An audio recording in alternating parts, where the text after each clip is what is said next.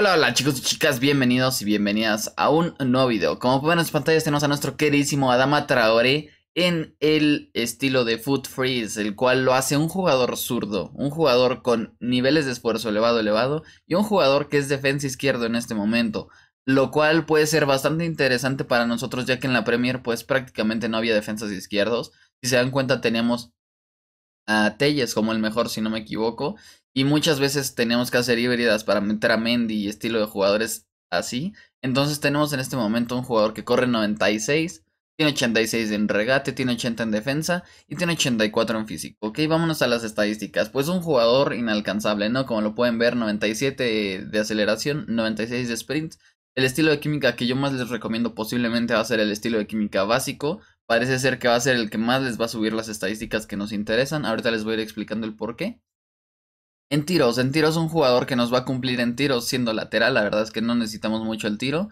Eh, nos funcionaría más una subida de pase, pero bueno, el pase está perfecto con estadísticas más 5 en visión, pase corto, pase largo y efecto. Va a estar muy complicado que encontremos otro estilo de química que nos suba el pase largo 10, el pase corto 10, el efecto 10 y los rubros de regate, defensa y físico también. Entonces por eso básico se los recomiendo. Aparte nos sube la agilidad, lo cual lo deja en 89, algo importantísimo para poder tener mucha, pues, eh, explosividad en la parte defensiva de esa banda. Tenemos un control de balón de 82, que lo subimos 87, unos regates que lo subimos hasta 97, la compostura que es negativa, evidentemente no es la mejor, pero es un lateral, entonces tampoco la compostura nos puede afectar tanto. Tenemos por aquí también eh, en defensa pues estadísticas que nos interesan mucho y algunas que podemos dejar de lado, ¿no? El cabeceo, por ejemplo, es algo que podemos dejar de lado, no hay tanto problema, además de que es un jugador que no está tan pequeño, unos 72 de estatura, está bastante, bastante bien para un lateral. Y tenemos una percepción defensiva de 81, lo cual el estilo de química básico lo sube 86, algo importantísimo.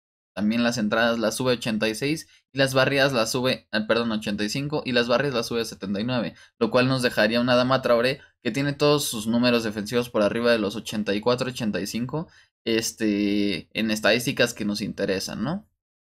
Y aparte el apartado físico. En el apartado físico pues tenemos un jugador que tiene salto en 80 más 5 gracias al básico pues son 85. Una energía que la verdad es que si juegas muy agresivo pues se te va a cansar un poco antes este Adama otros este, defensas, pero aún así yo creo que está bastante bien la energía, no necesita tanta. Y tiene una fuerza de 90 que con el estilo de química básico lo deja en 95. Por esta razón, yo pienso que el estilo de química básico es uno de los que mejor le va a ir. Otro estilo de química que les pudiese recomendar tal vez es columna o tal vez podría ser este centinela, pero yo creo que esto ya depende más de ustedes. El columna le sube el pase, la defensa y el físico, si no me equivoco y la centinela pues defensa y físico, ¿no? Pero bueno, sin más que decirles, eh, espero que esta carta sea muy buena como promete ser, se ve bastante, bastante bien. Vamos a pasar a los clips, vamos a ver qué tal rindió este Adama Traore y concluimos si vale o no vale la pena hacerse este, hacerse este CBC porque no se ve nada mal. Así que vámonos para allá chicos. Y bueno, como pueden ver en pantallas tenemos por aquí a nuestro queridísimo Adama. La verdad es que es un jugador que me costó demasiado, demasiado sacarle los clips. Jugué nueve partidos con la carta. Jugué siete en amistosos, dos en rivals. La verdad es que es una carta que me pareció muy complicada sacarle los clips. ¿Por qué razón? Casi nadie me estaba atacando por bandas, todos me estaban atacando por el centro. Supongo que mucha gente se está adaptando al, al método de atacar por los pues sí, por el centro. Entonces Adama casi no se lucía. Tuve que meterlo de central en varias este, formaciones para poder sacar clips para el jugador porque sentía que no estaba presenciando pues como quien dice ataques. Vean todos se me iban para el centro todos. Y ahí pues yo ya no podía defender prácticamente con Adama no se me acercaban y pues lo dejaba pasar no pero quiero que vean la capacidad defensiva que tiene. El jugador no se adelanta por mucho que tenga elevado elevado tiene este la capacidad eh, pues de quedarse abajo en su posición, entonces lo sentí bastante cómodo en la defensa. Simplemente me costó mucho sacarle los clips porque no lo encontraba. Ahí justamente cuando lo están viendo jugar, ya lo llevo de defensa central en esta posición porque se me hizo imposible poder sacarle los clips. Toda la gente estaba atacándome por el medio, nadie me atacaba por banda y dije, ¿sabes qué? Vamos a utilizarlo de central. Al final de cuentas lo que queremos ver es cómo defiende porque pues es lo importante, ¿no? Nosotros queremos en los laterales que nos defiendan bastante bien y ponerlo a pelear con los delanteros me gustó bastante porque pues así encontré mucho la factibilidad de este jugador dentro del campo. Es una carta que me gustó mucho, corre demasiado, se siente el ritmo, véanlo cómo alcanza a los jugadores y se recupera, espera que todos lleguen y es muy muy muy completo en este apartado. Me gustó mucho también su entrada, que no me gustó, que es difícil hacer las entradas con él por el, el cuerpo que tiene, se les acerca mucho a los rivales pero nunca mete el pie porque pues yo qué sé, así está como hecho el jugador, no entiendo la razón, pero no me metí el pie, no metí el pie para poder defender el balón, no se me hizo tan sencillo utilizarlo como Volant, por ejemplo, que le hicimos review ayer, el Volant se me hizo muy sencillo usarlo, este Adama no tanto, tal vez es porque es un jugador tan rápido que a veces no controlas los giros que te da o algo por el estilo, no digo que sea malo, al revés, digo que es muy bueno. Cuando traes buena conexión, creo yo que este dama puede ser bastante, bastante bueno. Porque te puedes ir de los jugadores muy rápido. Si se dan cuenta, vean qué explosividad tiene. A mí muchas veces me lo bajaron a puras faltas. ¿Por qué razón? Porque nadie lo alcanza, ni Hakimi, ni Cuadrado, nadie, nadie me lo alcanzaba. Vean lo rápido que es el jugador, me encantó por esto. Es un jugador que desequilibra muchísimo y este apartado me encantó de la carta. Entonces yo espero que ustedes puedan probarlo en esta posición y también tienen que pensar ustedes en los links que le pueden dar porque es difícil de vincular. El Wolves tiene muy mal eh, equipo, sí como tal, no tiene a quien darle química más que Podense. Y otro que pueden utilizar este también para darle química es tener una Santander, ¿no? Pero bueno, eso ya se hablará al final para ver si vale o no vale la pena. Yo creo que esta carta es una carta que te da muy buen rendimiento. Esta contra la generamos gracias a él. Y el rival incluso nos abandona. Eso me estaba costando también muchos partidos. Vean cómo puedo salir dominando con él. Me gustó mucho ese apartado también. Que puedo salir haciendo de todo. Literal puedo hacer lujos con él. Y me marca muy bien los espacios me marca demasiado bien los espacios, entonces es algo que también me encanta de la carta. Ustedes podrían considerarlo pues bastante bastante top en estos apartados porque puede salir perfectamente jugando, puede salir a velocidad si no quieres salir jugando e incluso puedes alcanzar a los rivales que están en contragolpe hacia ti para que puedas recuperar muy buenos balones. Es muy bueno ofensivamente, me gustó mucho porque tiene el elevado en defensa que se le notan, casi no se adelanta.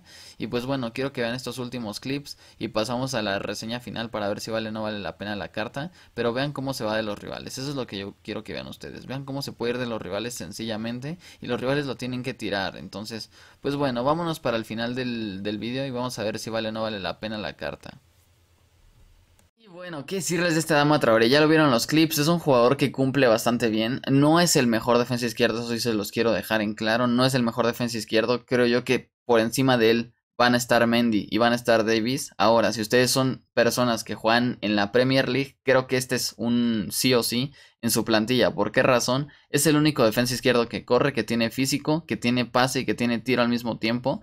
Algún jugador parecido a él, pues son lo que es Telles eh, pues es el único usable por esa banda de esa liga, porque el otro ya sería eh, Robertson y la verdad es que Robertson no me llama ni me gusta nada, al menos por estilo de juego en todo el FIFA creo que casi nadie le va a gustar porque casi todos corren y si no los alcanzas pues no puedes hacer nada. A pesar de todo esto creo que Dama Traoré es una carta que pueden utilizar perfectamente en sus plantillas Premier e incluso si quieren hacer alguna plantilla híbrida. ¿Qué complicaciones tiene? Pues evidentemente Adama Traoré no tiene tantos links en cuanto a españoles y en cuanto a este Club Wolves dentro de dentro de este del juego. ¿Por qué? Porque del Wolves quién es bueno? Pues está este Podense que podrían ponerlo en una 4-5-1 con Adama Traoré. Tienen a Semedo que es completamente la otra banda y creo que el más utilizable que es el Adama Traoré es extremo derecho y no puedes tener dos Adamas en tu plantilla, ¿no?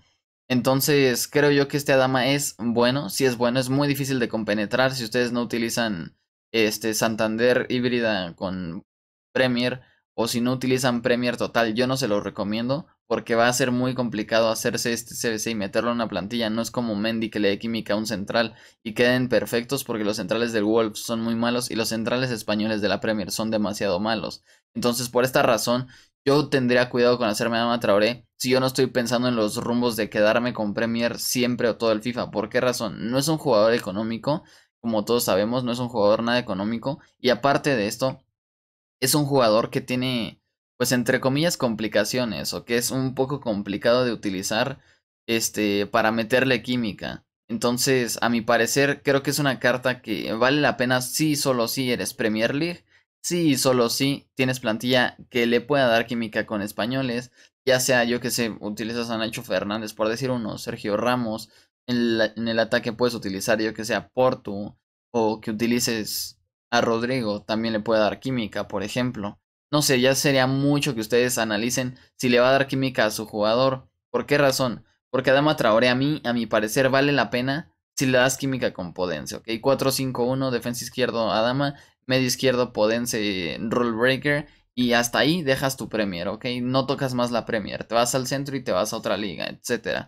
¿Por qué razón? Porque no son tan utilizables los de la Premier comparados con los jugadores super meta, como los Cristiano, Neymar, Mbappé, etc. Entonces, Adama Traoré es una carta que yo me haría solamente si tengo la oportunidad de meterlo en mi plantilla. Yo no soy un jugador que juegue Premier y por esta razón no me la voy a hacer. No quiere decir que sea malo y que no lo recomiende. Estadísticas defensivas me gustó. No es el mejor, creo que Mendy es superior en estadísticas defensivas, no en cuanto a, ver la carta, sino en cuanto al rendimiento dentro del campo. perdón, creo que Mendy se lleva mejor el balón.